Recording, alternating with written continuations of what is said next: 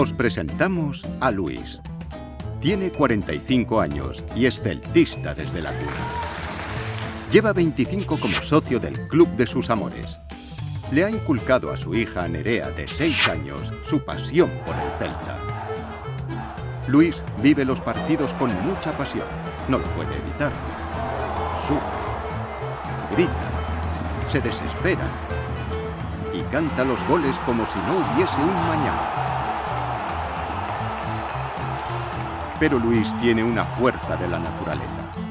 Cada vez que falta a Banca Balaídos, el Real Club Celta gana.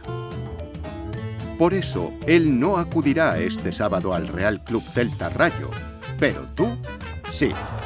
Hazlo por Luis.